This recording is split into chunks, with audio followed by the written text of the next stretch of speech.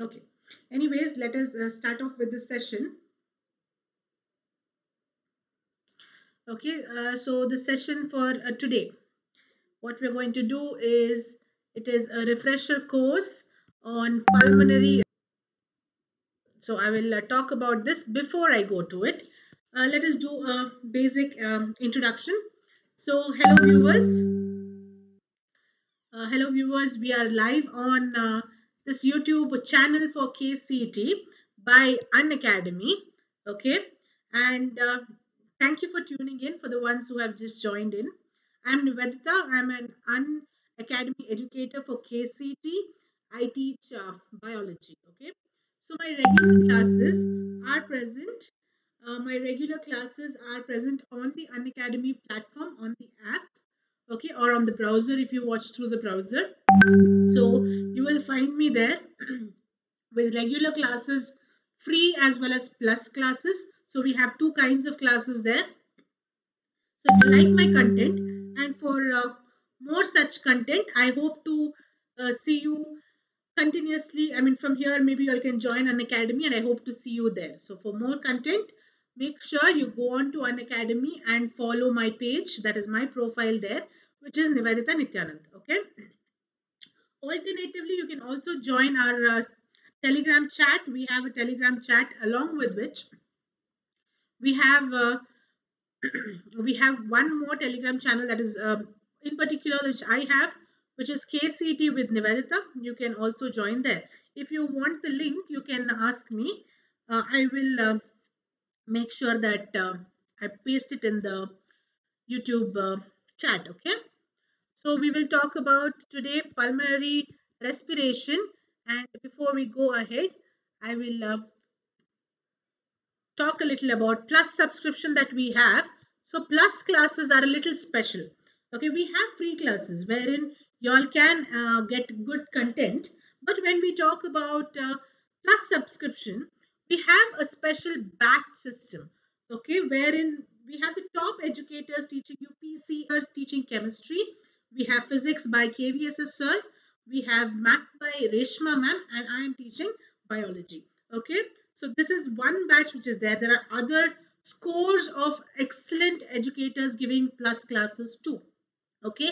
So we have a monthly offer for triple nine which is available till 15th of august. So you can take that up. Okay, you have to use my code NIVEDITA10 that is Nivedita 10. Okay, when you use that code only you can see these offers. Okay, so you will get premium content at an affordable price. You have structured live classes, live doubt clearing sessions, quizzes. This is for your self analysis. We have batches. Okay, we have daily practice problems, full length mocks also with analysis. So if you have been one of my class the students before, you would know that I have concept coverage as well as MCQs per class. And in the class, I discuss in while going through the MCQs, I always tell why the answer is so and why it is not. So we give detailed analysis. For a single subscription, you have unlimited access. Okay. So I would suggest you to take up this uh, Unacademy Plus subscription. So all you have to do is put up my code in the referral um, code section. Uh, there you, it will show you the different offers that are there. Okay. So generally it is 2250. If you put my code, you will find it at triple nine. Okay. For this 15th only till this 15th and on this till this 15th only. Okay. Let us move ahead and we can talk about uh, the concept. So the concept for today is pulmonary respiration. Okay, and since the concept is so, we will talk a little about respiratory organs. So let us first deal with respiratory organs. Okay, amongst them, the first one we have is simple diffusion, wherein it does not have an extra structure. All it will do is it will diffuse the uh, respiratory gases through its body itself. So we have sponges, we have flatworms, and we have coelenterates which do this. When it comes to a uh, respiratory organ not being present, they do it through simple diffusion. Similarly, we have um, tracheal tubes in case of insects. Okay, insects have certain network of uh, structures. So now this network has an opening called as spiracle. Okay, so insects show tracheal uh, kind of um, respiration. Moving on to the next kind, we have gills. Okay, now these gills are the ones which have been uh, present in case of fishes, mollusks, and also in case of aquatic arthropods. Also in case of aquatic arthropods, you see it. And such kind where gills is present, we will call it as brachial respiration or branchial respiration. Okay. Moving on to the next part, uh, we have lungs. Now, this is the most advanced form. Okay, lungs is the most advanced form. We will call it as pulmonary respiration. Okay, now this is commonly seen in amphibians. It's seen in reptiles, birds and mammals. So, we come under mammals.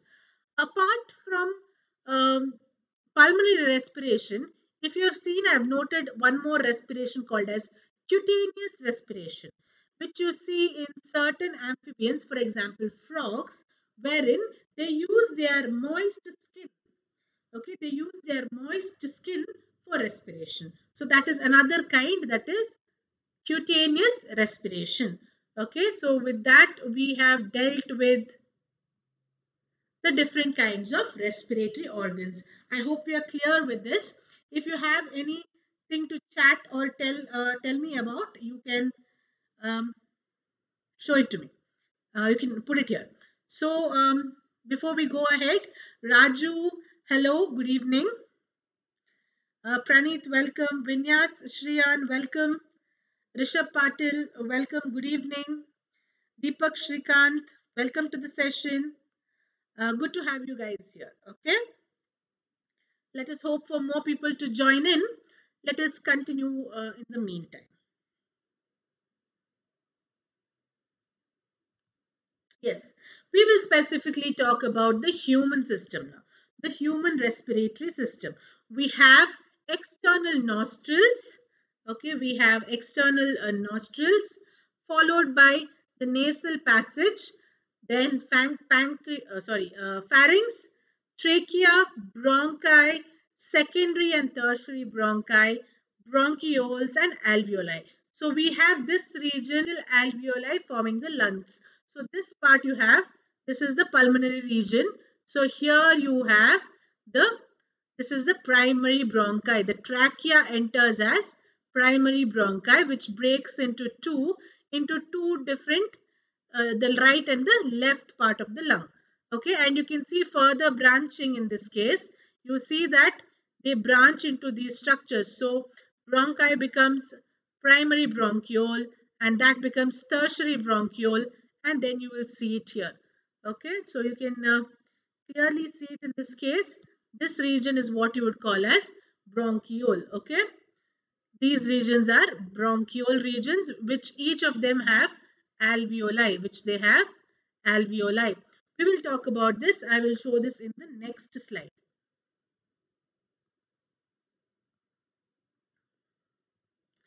Okay, we will talk here about uh, the structures again. Quickly, let us brush through. So, like I said, the nose, we have uh, tongue, okay, um, which is not a part of this. This is the tongue which is here. So, from the nasal region, it comes like this, okay. We can also pass it through the um, mouth. So, there are two uh, pathways that uh, our um, respiratory system follows. So you have this region to be the pharynx. Okay, at the base you have something called as the larynx. Now larynx is the region where you have um, larynx is the region where you have a voice box. So in case of males, you can see a protrusion outside, which is the uh, extension of the voice box. Okay, that is called as the larynx. Now at the region where larynx, uh, the pharynx joins the tracheal tube, this region, okay, we have a glottis. The epiglottis which covers the um, food when uh, the food passage when we are breathing and when we are eating food it covers our breathing passage so so as to prevent your food entry into your lungs So if you've noticed sometimes when you're eating and talking at the same time, the food would enter, it would enter your um, lung. And what would it do? When it enters the trachea itself, you start coughing rigorously. Correct? That is when, that's why we say don't talk and eat at the same time because the glottis, epiglottis will get confused. So as I said, we have the right lung and the left lung. Okay, so this is the bronchi. Okay, this is the bronchi and they will divide into different uh, regions. We have different kinds of bronchioles and bronchioles finally end up in alveoli. So these are sac-shaped structures which are available for diffusion of uh, gases between the membranes. Okay, so these are sac-shaped structures. Also, you should remember the presence of a diaphragm. Okay, which is a dome-shaped, C-shaped structure. We will discuss that in the coming slides.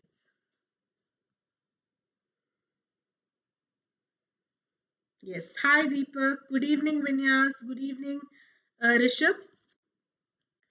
Let us talk quickly about uh, a few more features. One feature you should know is this.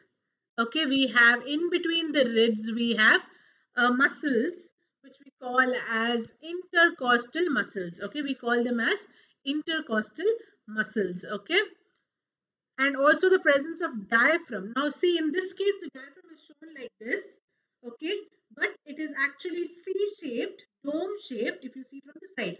So dome-shaped structure.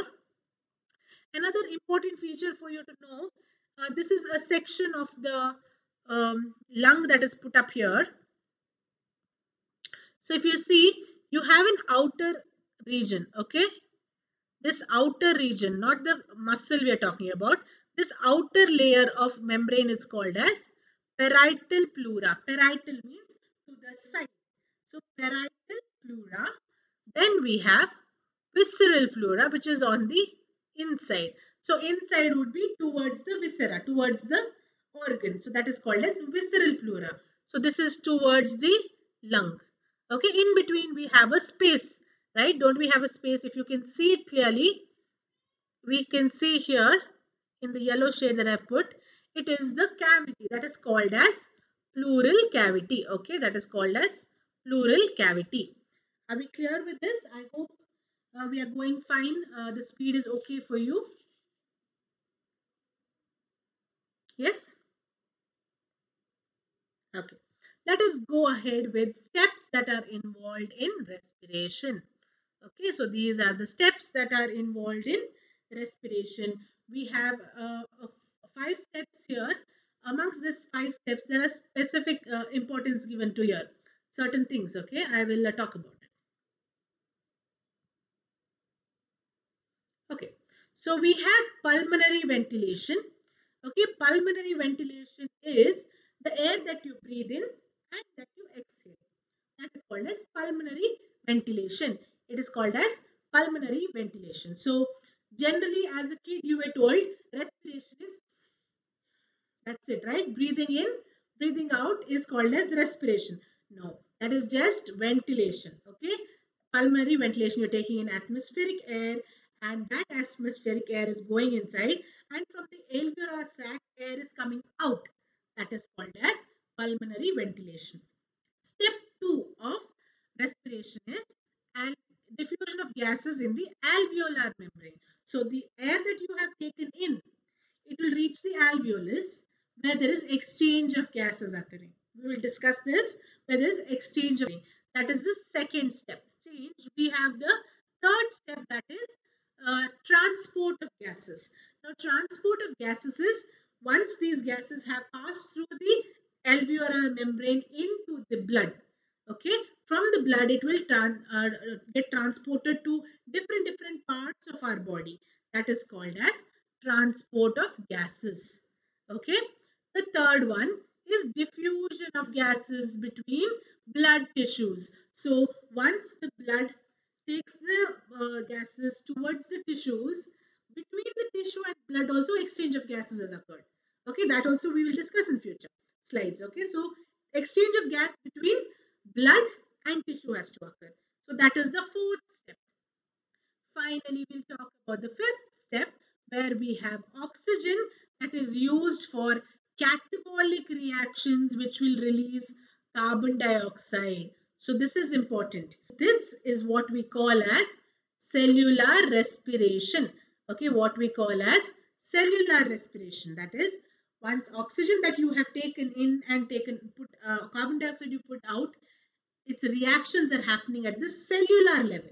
Okay, so breaking this down uh, using oxygen to break down food okay that is catabolic reaction. Breaking down something is called as catabolism.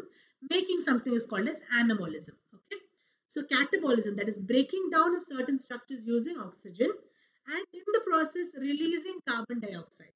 Okay that is cellular respiration so that is the last step when it comes to respiration and it is the most important step when we talk about respiration okay so that we are not dealing with today and as the concept has been clearly put it is pulmonary respiration and we'll focus only on that today. Okay. Uh, for uh, in-depth classes, obviously, you can find me at Unacademy. We'll go to the mechanism of breathing. So in mechanism of breathing, uh, for you to realize,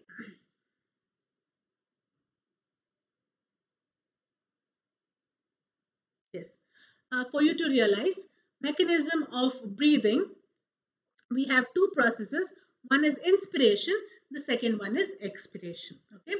Before we go into it, let's see a few uh, comments that have come up. Yes, Nidhi, uh, hello. Uh, Nidhi Tendulkar, yes, hello, Nidhi. Uh, yes, there are plus subscriptions for KCET 2022 also. You can take a two-year subscription if you want. Okay, or you can take a one-year subscription till 2021 gets over. Then you can go for a to uh, another year subscription later on. If there are any uh, rate changes you will get to know. So for now you can take up a one year session. So my batch is already starting. Batch is already started in fact on the 1st of august biology my classes uh, in plus especially will be from the 12th okay 12th of august i hope to see you there yes let us talk about this inspiration Okay, mechanism of breathing. Under mechanism, we have two parts, inspiration and expiration. That is inhalation and exhalation. So inspiration, what happens? Okay, so you know that when you breathe in, you would have noticed that your chest expands, right? Your chest expands. Now, how does that happen? So during inspiration, there is contraction of the diaphragm and the intercostal muscles. So let me change it. Yeah. So we have the diaphragm here, right? So the diaphragm will contract. Now this concept is very important for you to realize. So when we say diaphragm, it is generally in this shape, okay? I'm showing you from the side view. It will be like this. When you say contract, it actually straightens out. In our mind, contraction means like this and relaxation means like this, correct? But in case of diaphragm, if this is uh, how it is in structure. When you say a diaphragm is contracting, it would mean that it is extending itself. Okay, it would mean that it is extending itself. So you can see the diaphragm here would extend itself outside. Okay, similarly intercostal muscles present between the ribs will extend outside. So what will it do?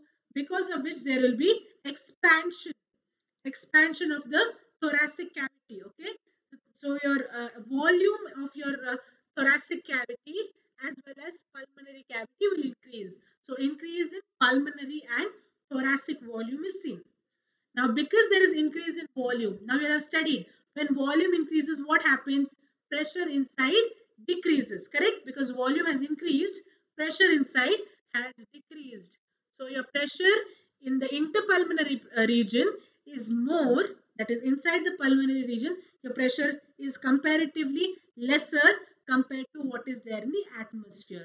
So what happens normally? When pressure is more at one place and pressure is low at another place, obviously air or whatever component where pressure is more would enter the place where there is less pressure. So that would result in air forcibly entering the lung. Okay, so because of the pressure gradient, outside atmospheric pressure is more, inside your lungs, uh, your uh, thoracic cavity, the pressure is lower, because of which air will enter with full force into your lungs. So that is what the last one states. Uh, did you get this clear? If you want a uh, me to repeat this slide, please tell me. I will uh, repeat it for you. Okay. So let us go ahead with the next one. That is a mechanism of breathing may expiration. So this is exhalation. How do you release the air that is come out? Now this also is quite similar. That is exact opposite of that of inspiration. So in um, inspiration, we saw that diaphragm was contracting. So diaphragm was normally like this, it contracted. Now during expiration, diaphragm will relax and go back to its normal position. So if you see here, diaphragm has gone back to its normal position. Similarly, the intercostal muscles also have come back to their normal position. Okay, intercostal muscles also have come back to their normal position. Now, where the volume was big, the volume has decreased. Okay, the volume has decreased because of the muscles contracting. So thoracic muscle, uh, thoracic volume as well as pulmonary volume will reduce. Now this results in increase in pressure, right? When volume is like this, you're pushing it inside. What happens? The pressure inside increases. So when there is more pressure here and atmospheric pressure is uh, lesser, the air is expelled outside from the lungs. So air is expelled outside because atmospheric pressure is lower, your interpulmonary pressure is higher. Okay, so that is about expiration. Okay, I hope you got this. Yes. Yeah. Let us go to the next one. We will talk about respiratory volumes and capacities. Now, when it comes in terms with KCET as well as NEET, concepts do arise with this question uh, with this concept the questions do arise but not as much as you would expect. We tend to uh, rack our brains thinking that we'll get a lot of concepts from here but don't you worry okay? There are some important things here which we'll discuss. First one is tidal volume. First one is tidal volume wherein the amount of air that you inhale or exhale during normal respiration okay? That is called as tidal volume. Normal respiration the amount that you take in or the amount that you release.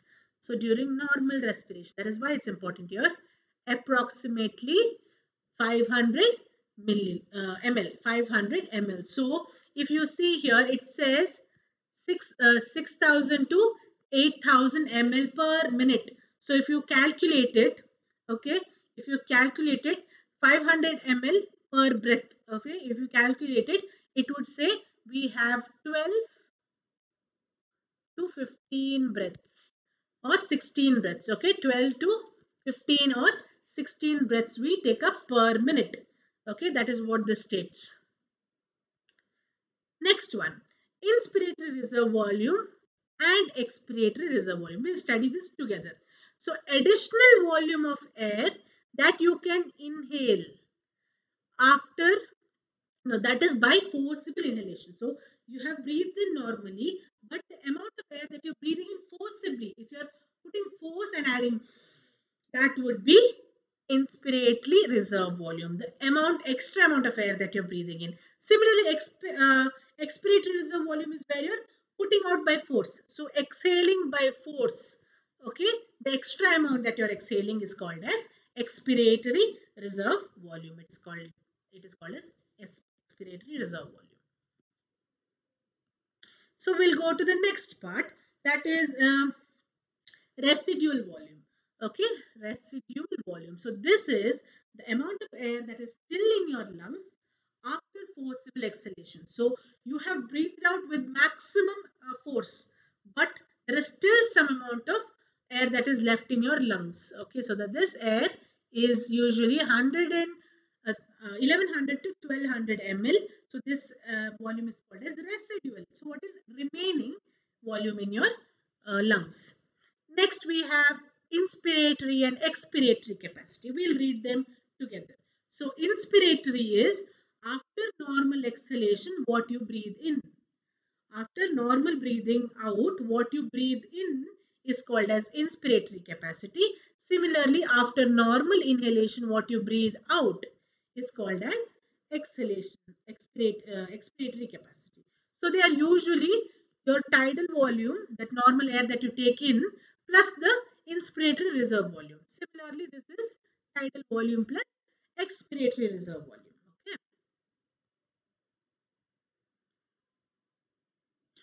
Let us go ahead for the next part. We have three more concepts here and then we'll go to a little more uh, different part. So we have functional residual capacity, FRC. FRC is again for you to relate with residual volume. Okay, this is functional residual volume capacity that is residual volume. Here it is after normal exhalation, the air that is left. So very important is the term normal exhalation, the air that is left. So if you see here uh, in residual, it is forcible exhalation. Okay, so that is the difference between the two is that in one it is normal exhalation, in the functional is it, uh, it is uh, normal whereas in residual it is uh, forcible exhalation. Next concept for you is vital capacity. It is the maximum volume of air that can be taken in after forced exhalation. So you have forcibly removed air out and then you're breathing in to the maximum level that you can. That air will be called as vital capacity. So it is tidal volume plus inspiratory volume plus expiratory volume. Okay, so three parts we have there. Okay. Last one, this commonly comes. Okay, there are two things that commonly comes. One is residual volume and one is total lung capacity. That is TLC. So total lung capacity is all of the air accommodated at the end of a forced inhalation. Okay, when you that you do forced inhalation, what is the amount of air that is there in your lungs? So that is your residual volume plus your vital capacity. Okay, residual volume plus your vital capacity is total lung capacity. Okay, let us move on. Yes. We'll talk a little about exchange of gases. Okay, let us do this. So exchange of gases, uh, a very important concept when it comes to respiration because uh, uh, the major function is not just the transport of oxygen. It is where the oxygen is getting uh, taken in uh, from the alveolar tissue and passing it on to the blood. Okay from there it has to go to the tissues right? So that is the most important concept. So that is why exchange of gases. Now we will talk about this. We have two gases to remember which we are well versed with that is oxygen and carbon dioxide so exchange of gases is based on partial pressure of both okay so the partial pressure of oxygen and are considering partial pressure of carbon dioxide. So partial pressure is me measured by mmHg that is mm uh, by mercury. Okay, Hg is mercury. So we will talk about this. We'll talk about oxygen first. Okay. So if you see, as I told you, oxygen or any particular gas, okay, it will move from place where there is high pressure to a place there is low pressure. From higher pressure to lower pressure, it moves. Okay, so if you see oxygen is highest, that is 159 in atmospheric air and it is 104 in the alveoli. So what would happen while breathing? Normally, it would move in this direction, right? Atmospheric air say alveoli tak. So from the atmospheric air, that is oxygen will travel into the alveoli. So that is common. Now, if you see the air that is uh, the blood that is coming in is deoxygenated blood. Okay, the blood that is coming in is deoxygenated, which comes to our, uh, uh, lungs, the pulmonary, through the pulmonary artery is deoxygenated. So obviously there partial pressure of oxygen is less. So from here, it will move in here. So from alveoli, it will get into the deoxygenated blood. So now the blood has enough of oxygen. It has become oxygenated blood. It was deoxygenated blood. Now, but because the, from the atmospheric air through the alveoli, the blood has received oxygen, it has become oxygenated. So, if you see, its partial pressure has increased to 95 now. So, when it goes to the tissues, it has transported from the heart, it has reached different tissues and when it has reached the tissues, at the tissue, the partial pressure is 40, which is less. So, from oxygenated blood, it will go into the tissues. So that is how it occurs in case of uh, oxygen. So you see from atmospheric air, it moves into the tissues. Let us talk about carbon dioxide. Okay, carbon dioxide reverse happens. So what happens here? In the tissues, there is maximum carbon dioxide because um, oxygen is used by the tissues and it has broken down food material. Now it has released carbon dioxide. Now that carbon dioxide has to be put out into the atmosphere. So highest amount is present in the tissues. It will put it into the blood because in the blood, oxygenated blood, uh, carbon dioxide is just 40. The atmosphere, uh, the pressure is just 40. So from higher pressure to lower pressure. Okay. Again, now this blood has become deoxygenated because a lot of oxygen is going into the tissues and carbon dioxide has entered the uh, oxygenated blood which has which has made the blood now deoxygenated blood because there's excess of carbon dioxide. So there the partial pressure of carbon dioxide now has become 45. From 40 it has become 45. So if you see the alveoli, at the alveoli it is lesser. So after the blood oxygen, deoxygenated blood is passed from the heart into the through the pulmonary artery back to the lungs. When it comes to the lungs at the alveoli, the lung has 40. Okay, partial pressure of 40. That is why from deoxygenated blood, uh, carbon dioxide will enter into the alveoli. And from the alveoli, if you compare to the atmosphere, see the difference. Okay, see the difference. 0.3 in the atmosphere, in the alveoli 40. So immediate expulsion of carbon dioxide occurs from higher pressure to lower pressure. I hope you got this. That is exchange of gas based on partial pressure. Okay. Let us talk about a little about alveolus and the pulmonary capillary. So if you see the structure here, in this structure we have, um, this is the alveoli. Okay. This is the alveoli. Okay. And then we have the blood capillary which is pulmonary blood capillary. Okay, pulmonary blood capillary. So here an important part is, can you see the cells here? Okay, this is the epithelium of alveolus. It is the epithelium of alveolus. Okay, and here we have another little set of epithelium of blood vessels, which we call as uh, endothelium, which we call as endothelium. In between we have this region. We have it uh, it is called as basement membrane. Okay basement membrane. So these three parts will form the uh, membrane for transport of gases. Okay so the membrane for transport of gases is uh, wall of uh, alveolus wall of capillary that is endothelium as well as basement membrane so if you see here how the exchange happens is oxygen which is in higher pressure here so if you see oxygen is in higher pressure so here oxygen is 104. From here it is moving into the blood, into the bloodstream where it is just 40. Okay, into the bloodstream where it is 40. Okay, that is the partial pressure. So this is how oxygen moves. Similarly, we have carbon dioxide which is in the blood which is 45. Okay, in the blood it is 45 and it is 40 here okay it is 40 here so carbon dioxide will move into the alveoli so that is how the procedure happens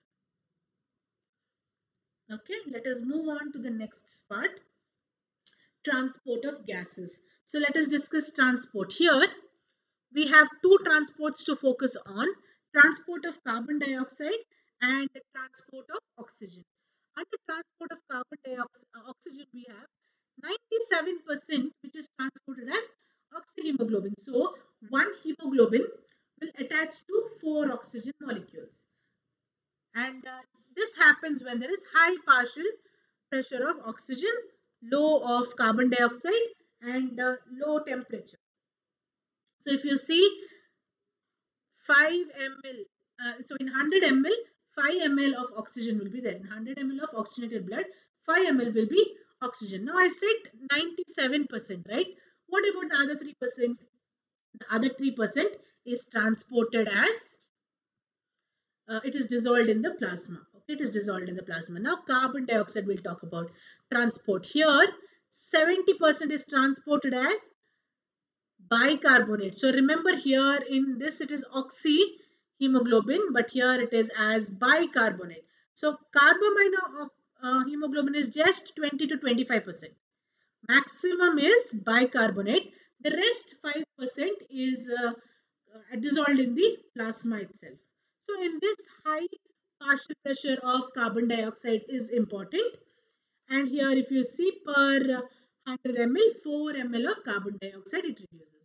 Now how are these uh, carbonates formed? Bicarbonates. Okay. Carbon dioxide that is present, it fuses with water present in uh, the blood. Okay. And it is very important that is this carbonic anhydrase which is present in RBCs. Okay, carbonic anhydrase present in RBCs will convert this into carbonic acid. Further, carbonic acid also breaks um, this into bicarbonate and hydrogen ion. It will break it into two parts, bicarbonate and hydrogen ion. So this is a reversible process if you see. Excuse me. It is a reversible process. So in the blood, it will go in this direction okay and later on once it is transported when it reaches the alveolus it will go in this direction. Fine? Yeah. Let us go to the next concept. The last part then we'll deal with mcqs after this.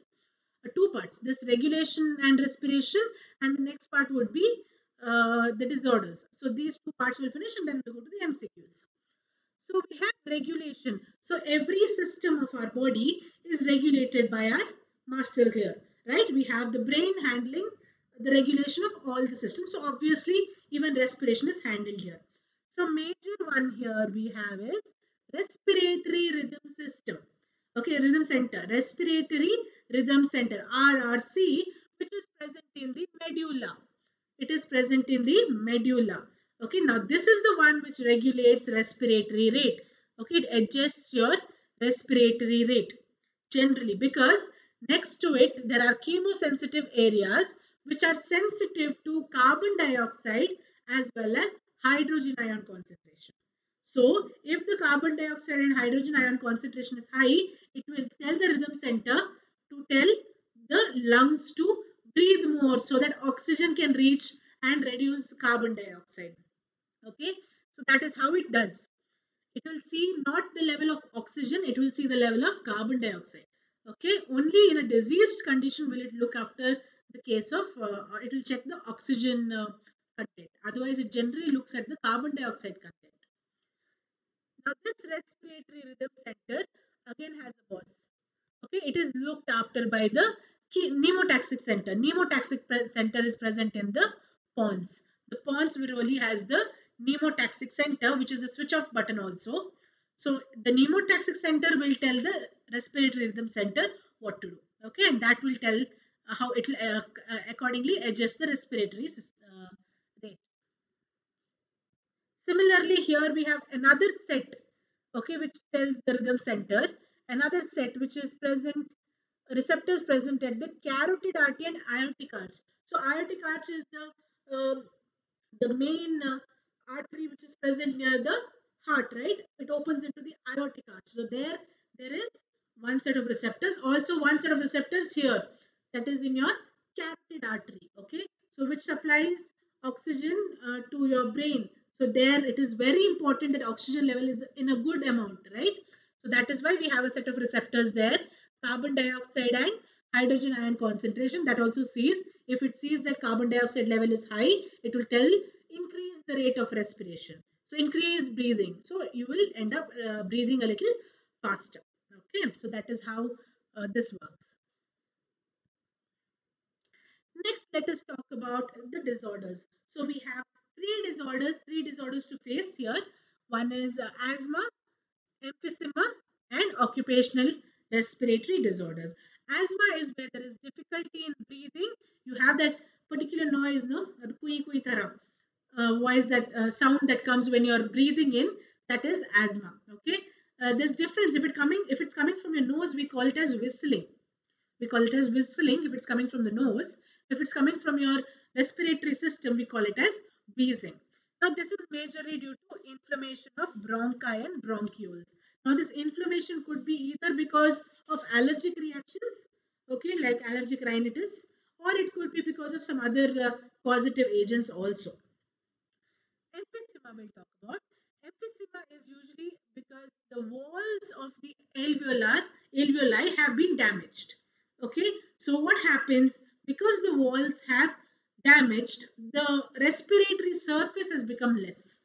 Okay, the respiratory surface has become less. This is because majorly because of cigarette smoking. So if when people smoke, the respiratory, uh, the walls are destroyed because of which the respiratory surface is not good enough and they can't breathe properly. It's a chronic disorder. Chronic means long term.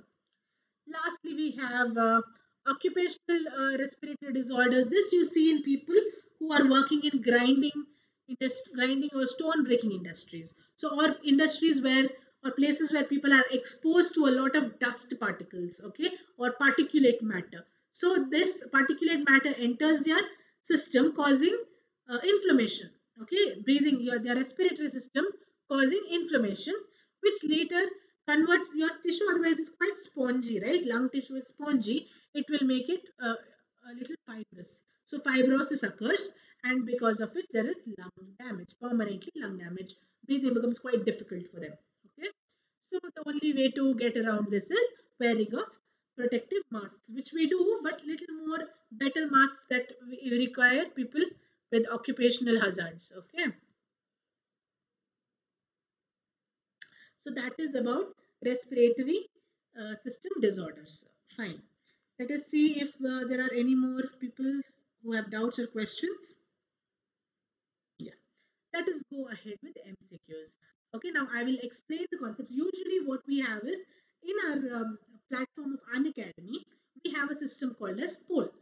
So in poll system, what do we do? We will uh, put the question up and there will be a poll that comes up. So you can click on the right answer. But since we are doing this on YouTube, I will directly go ahead with uh, explaining the points and uh, why the answer is so. Okay. So for more content like this, for more information, you can go on to KCET Unacademy and you can find me there. And hopefully I'll see you in my regular classes, uh, both free as well as plus classes. Okay. Let us start with MCQs.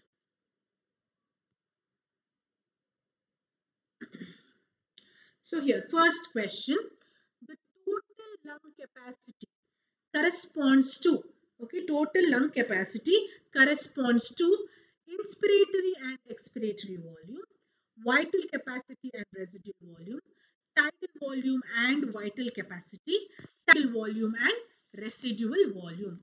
So this I have told you when it comes to TLC, total lung capacity is a question that comes very often.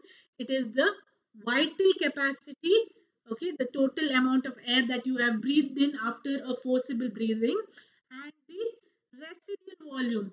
After you forcibly exhale whatever is remaining okay the vital capacity as well as residual volume are the uh, answers for total lung capacity okay. So answer here is b.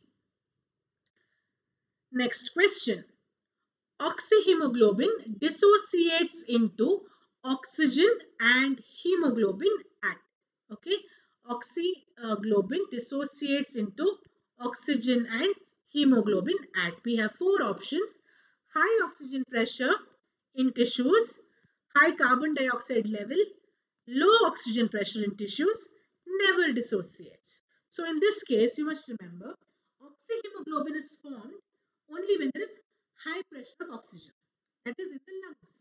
There is high oxygen pressure. So um, your uh, uh, it uh, when it reaches the blood, it becomes in oxygenated blood. Oxygen and hemoglobin fuse. but by the time it reaches the tissues, what will happen? Oxyhemoglobin has to break into oxygen and hemoglobin, right? Because oxygen has to be taken in. Now this breaking happens only because in the tissues the pressure of oxygen is low. Okay, the, in tissues, the pressure of oxygen is low and that is why this occurs. So the answer here is low oxygen pressure in tissues. Next question. The chronic respiratory disorder commonly caused by cigarette smoking? Okay, simple question, direct question we have. So respiratory acidosis, emphysema, C, asthma, D, respiratory alkalosis. Acidosis and alkalosis is becoming uh, uh, extremely becoming acidic or alkaline. Okay, but we have already established that the disease that is caused by cigarette smoking is emphysema. Okay, which was the last slide that I explained. Let's move on to the fourth question. Carbon dioxide produced by our body cells is transported to the lungs as, okay, so here uh, there are options that says dissolved in the blood, attached to hemoglobin, as carbonates, as bicarbonates. So if you see it is dissolved in the blood, true. It is attached to hemoglobin as carbamino hemoglobin. This is not there, obviously. It as bicarbonates, it moves. But how do you answer this question? The question says majorly transported. Majorly means how much is extra. So uh, the highest form. So 70% would be bicarbonates. So 70% that we have is transported as bicarbonates. That is why that is the answer. Yes. So answer here is as bicarbonates. Let us go to the next one. The fifth question. Membrane separating air in pulmonary alveoli from blood capillaries. So membrane that is separating pulmonary as well as um, pulmonary alveoli as well as blood capillaries. So we have endothelium of blood capillaries, alveolar epithelium, cardiac epithelium and D is both A and B. So in the pulmonary alveoli, we have the alveolar epithelium. Blood capillaries, we have the endothelium. And I told you, the endothelium of the blood capillary, the alveolar epithelium along with basement membrane is the membrane that is important, right? So that is why the answer, correct answer is D. Okay, both A and B is the correct answer. Cardiac epithelium you would see only in case of uh, presence in the uh, heart as the word says cardiac. Let us go to the next one. Sixth question. Uh, guys, if you have any doubts, please put in, okay? I will uh, clear it for you.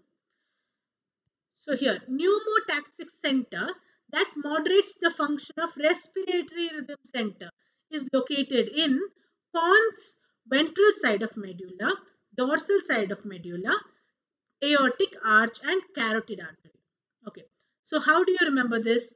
Most of the times when we read in a hurry, we will focus on respiratory rhythm center. If that was asked, the answer would be one of these two, medulla. Okay, but specifically they have asked pneumotaxic center. Where is the pneumotaxic center located? And that is located in the pons. That is located in the pons. Next one, seventh question. Which of the following groups are supported by incomplete cartilaginous rings? So we have the first option saying pharynx, primary and tertiary bronchi plus initial bronchioles. Second question saying, second option saying trachea, primary and secondary bronchi and initial bronchioles. C, larynx, primary, secondary and tertiary bronchioles and initial bronchioles. And D, which is uh, trachea, primary, secondary, tertiary and uh, bronchi and final that is your initial bronchioles. So in this case, incomplete cartilaginous rings begins from the trachea. Okay, it begins from the trachea. So pharynx and larynx we, have, we can eliminate. So option would be either this or this, correct? In this case, this option is more appropriate because it talks about tertiary bronchi as well whereas that we don't have here okay? We don't have it here. So option is d in this case. Next question. Generation of bicarbonate ions occurs in okay? We have four options neutrophils basophils rbcs and lymphocytes okay? So answer here is rbcs because it has carbonic anhydrase in it okay? Carbonic anhydrase is the enzyme that forms bicarbonate ions.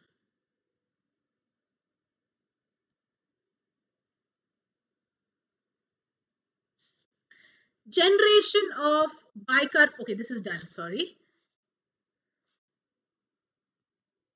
Yeah. Okay, next is an image given. So we have this image where label A and label B is there. You have to tell what A and B is. So A is this and B is this okay so we have uh, four options where a is trachea b is bronchus b is uh, a trachea and b bronchi a bronchiole b trachea a alveolus and b bronchi so in this case this is clearly the trachea. Okay a is clearly the trachea. So pick an answer where there is trachea. So it has to be a or b. Okay it has to be this or this. Now in this we clearly have this to be the uh, primary bronchus primary bronchus secondary bronchus so this would be bronchiole so the answer is b that is a trachea and b bronchiole so that is the ninth answer next the tenth question Identify the correct statement pertaining to transport of respiratory gases. Pertaining to transport of respiratory gases by the blood. So we have under this four options which says hemoglobin is necessary for transport of carbon dioxide. Carbonic acid is necessary. Carbonic anhydrase is necessary for transport of oxygen. Here it says only oxygen is transported by the blood. Okay, here it says hemoglobin is necessary for transport of oxygen, carbonic anhydrase for transport of carbon dioxide. And here it says only carbon dioxide is transported. So we know that this is wrong and this is wrong because only hemoglobin and only carbon dioxide are not the ones who are transported. So common confusion would be between A and C for people. But hemoglobin does the transport of oxygen okay and carbonic anhydrase does the uh, this thing of carbon dioxide okay so carbonic anhydrase uh, anhydrase will break down carbon dioxide and water will fuse it to form carbonic acid which will form bicarbonate ions which will transport carbon dioxide in such a way so answer here would be c okay it is ulta given here in a Next question. We'll talk about tissue respiration. What is tissue respiration? Is it internal respiration, external respiration, inspiration, expiration? So tissue respiration as we know it is cellular respiration, right? At the cellular level. So that is why we call it as internal respiration. Okay.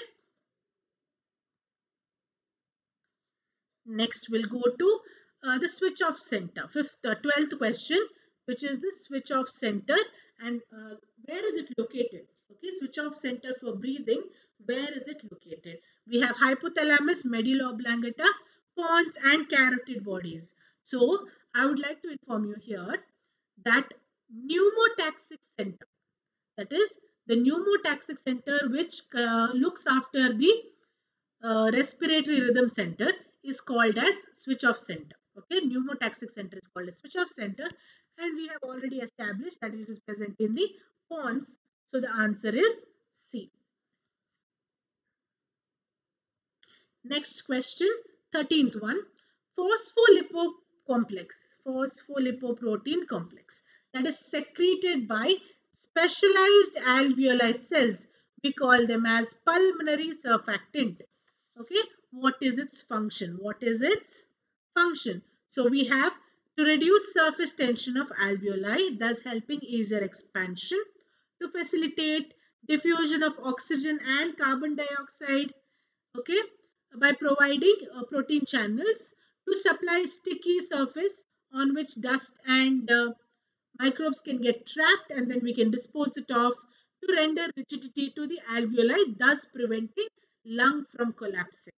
Okay, so in this case, surfactant the word surfactant is there so you must realize easily that it is to reduce the surface tension of alveolus okay in this case the alveoli has a thin layer of um, water layer uh, in it okay so that would not allow it to expand easily so that that water layers uh, uh, effect is removed pulmonary surfactant is present which will reduce the water tension there. Therefore, the alveolus can expand and contract as it requires during breathing. So answer here would be A. Next one, 14th question. Following statement is correct?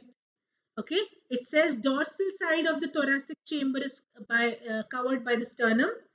Tracheal rings are made up of hyaline cartilage. Expiration occurs where there is negative pressure in the lungs, all of the above.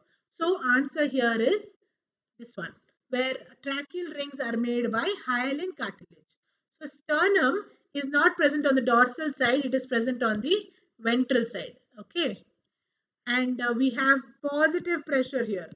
In case of lungs, we have positive pressure. So answer here is B. Next question. During exhalation, what happens to the diaphragm? Contracts and flattens, contracts and arches, relaxes and flattens, relaxes and arches. So as I've already told you, during exhalation, it is going back to its normal state. So it has been expanded. It is going back to its normal state to this. Okay. So what it's doing from contraction, it is relaxing and it is arching. Its normal position is arched. Okay. So from respiration, it is actually opening out. But in case of exhalation, so what they have asked is exhalation. So if you see, it is relaxing and arching. So answer here is D, where there is relaxing and arching. Next question. Which of the following statements are incorrect? Okay, which of the following statements are incorrect? Okay, diaphragm is useful for both inspiration and expiration. Every human on an average breathes 12 to 15 times per minute. Volume of air involved in breathing movements can be estimated by spirometer. So this is correct. So is this. So is this. All of them are correct. Okay. So answer would be all. okay. So answer would be all. So here it has clearly asked for you which is incorrect. Any of them are incorrect? No, all of them are correct. That is why the option is none of the above. Let us go to the 17th question. We are at last four questions and after that we will wrap up. Okay. So saturated hemoglobin carries dash number of molecules of oxygen. Saturated, what do you mean by the word saturated? Wherein maximum potential of it, it has reached. Beyond that, it cannot take anything more. So, for example, we say, you know, I am saturated with this class. What do you mean by that? I have gotten enough information, more information will not enter my head. Okay, so saturation, you mean maximum amount that has filled. So, in case of uh, hemoglobin, maximum number of oxygen molecules that can be taken is 4. Maximum 4 molecules of oxygen it can take up. So answer would be B. 18th question. Which of the following statement sequences correctly indicate the initiation of expiration? So we have relaxation of intercostal muscles, return of diaphragm and sternum to its normal position. Air getting expelled from the lungs, volume of thorax decreases, interpulmonary pressure increases. Now, how are you going to do this? The first thing that happens is relaxation of intercostal muscles and return of the diaphragm and sternum to normal pressure. So, this would be the first step in case of respiration. So, find points where there is first. So, you have this and this. Okay. Next, we have internal. We have to find out what happens here. So, volume increases next. So, this is number one okay? Next we have uh, because of this relaxation volume has increased. Okay? Finally we have interpulmonary pressure which has increased. And finally expulsion. So what you're going to do if you do not know which among these two happens first? If you do not know which among these two has happened first remember expelling of air has to be the last point correct? Has to be the last point. So find which one it is. Find where do you see that you see that in case of this right? You see that in case of this. So answer would be this one. Clear? So we have arrived that the answer is a. So by series of elimination or understanding of concept you can easily crack seat uh, as well as NEET next one 19th question. Lung covering is called as peritoneum pericardia pleura mediastinum okay? So we have four options. We have um, peritoneum which is the covering for the cavity body cavity. Pericardia again cardia the word is there so it has to do with the heart. Now the question is between pleura and mediastinum. Mediastinum is present in most uh, uh, organs we call them as mediastinum that is the covering. But since they have specifically asked lungs the answer has to be pleura. The answer has to be pleura. So it is called as pleura mediastina. Okay? It is called as pleura mediastina. Okay? So uh, in this case since they specifically asked lungs we can answer as pleura. Before we go to the last question let's see if anyone nasima hello. Uh, you're putting uh, the answer is here. Um, since we did not have enough students what i did is i went off with the uh, direct explanation of concept uh, but I would like to tell you if you join me at uh, academy, we have poll system there. So you can obviously click on the answer. It will be much easier. Okay. It is very interactive. So you can always interact with us. You can interact with your fellow students too. So that is a nice place for you. Let us go to uh, the last question. Now blood analysis of a patient has been done. And it shows that high quantity of carboxyhemoglobin content is there. Now, we have to come to a conclusion. Which among the following conclusion is correct? So, it has been clearly told that he is inhaling, he or she is inhaling polluted air. Now, that polluted air contains high content of which amongst the following? We have chloroform, carbon dioxide, uh, carbon monoxide and we have carbon disulfide. So, since the word carboxyhemoglobin is there, your question would be either this or this, right? But for you to remember, carboxyhemoglobin is formed only by carbon monoxide. It will fight with oxygen to form carboxyhemoglobin. It's a very deleterious condition, okay? Carbon dioxide, on the other hand, forms carb aminohemoglobin. So the question here is carboxyhemoglobin, which is done by carbon monoxide. If it was carbon amino, carbaminohemoglobin, we would have said carbon dioxide. Okay, so the answer here, since carboxyhemoglobin is there, it is C. That is carbon monoxide. So uh, the answer keys are present. Uh, one plus point again, in case of uh, um, Unacademy, if you join us there, you can download this PPT. Okay, this presentation will be present in the form of a PDF or as notes for you with annotations or without annotations. So it's a plus point for you to have these things in file for easier study. Okay, so you can do that. Also, you can click here uh, for you to uh, go to our subscription site uh, so that you can get uh, into subscription of plus. So if you liked my session, you know what to do. Take up a plus subscription. Otherwise, at least for now, join Unacademy. I hope to see you there. There are free classes as well as plus classes.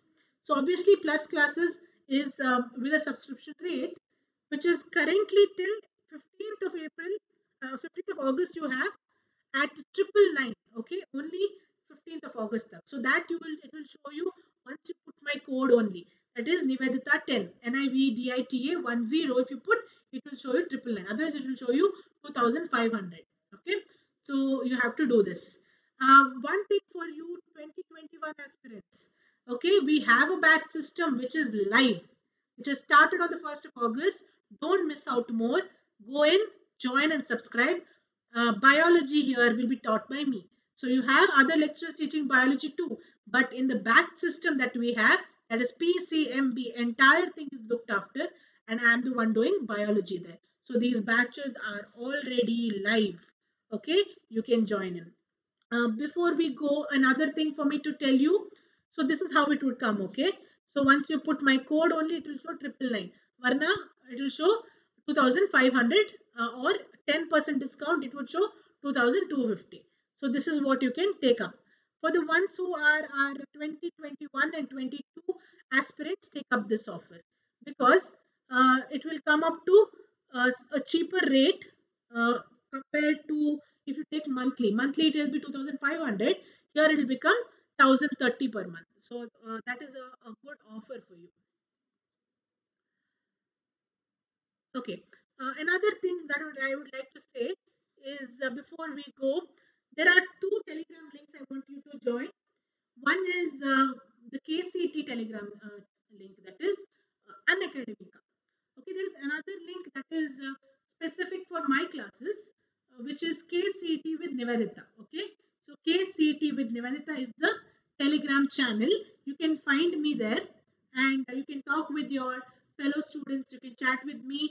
Anything related to biology, NEET, CT, okay, can be done here. Okay, so we'll have a discussion and doubt sessions also there. So every link of mine on Unacademy or on YouTube, uh, plus classes, special classes, five minutes or a few minutes before the class, I will put it on that group also. Okay, so that is a plus point of being a member of that particular group uh, in uh, channel in case of uh, telegram channel which we have KCET with Nivedita.